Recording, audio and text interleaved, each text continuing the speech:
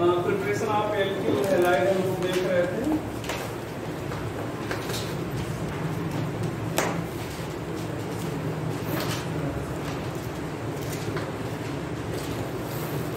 इसमें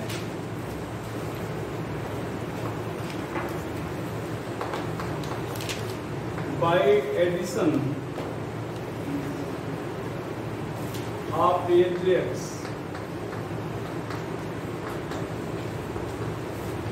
with alkene by addition of AGX with alkene ठीक है?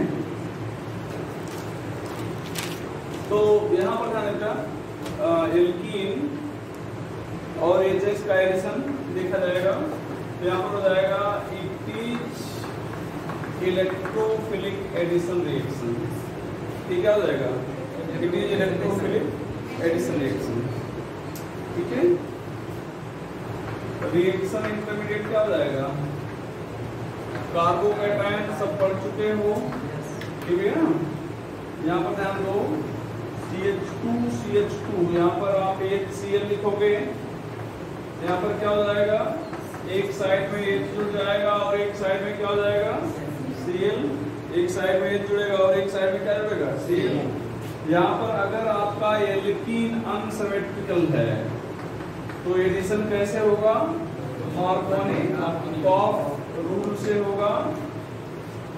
मार्कोनी ऑफ़ रूल का क्या मतलब है? कि ये जो वहाँ जुड़ेगा मतलब पॉजिटिव पार्ट वहाँ जुड़ेगा, जहाँ पर एच की संख्या ज़्यादा है, और नेगेटिव पार्ट वहाँ जुड़ेगा, जहाँ पर एच की संख्या कम है। तो यहाँ पर पॉजिटिव जुड़ गया, और यहाँ पर क्या जुड़ गया? नेगेटिव जुड़ गया।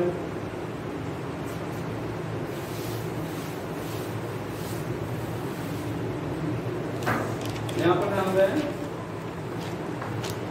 आपके बुक में ये क्वेश्चन बना हुआ है। यहाँ पर एक आर लिया गया है। अब ये अनसिमेट्रिकल एल्कीन है या नहीं है? है? अनसिमेट्रिकल है ना? तो एच बी आर जुड़ रहा है तो यहाँ पर क्या करेंगे? मार्कोनिक ऑफ़ रूल से जोड़ेंगे। तो ये वहाँ जुड़ेगा, जहाँ पर हाइड्रोजन ज़्यादा है। और बी आर वहाँ पर जुड़ेगा जहाँ पर हाइड्रोजन कम है। लेकिन एच बी आर का जो एडिशन है, वो पर ऑक्साइड की प्रेजेंस में एंटी मार्कोनिक ऑफ़ रूल से होता है।